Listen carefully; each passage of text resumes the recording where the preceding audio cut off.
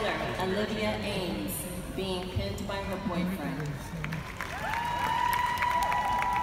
Miss Haley Barker, being pinned by her mother. Andrea Michelle Sheck, being pinned by her mother. May 31st.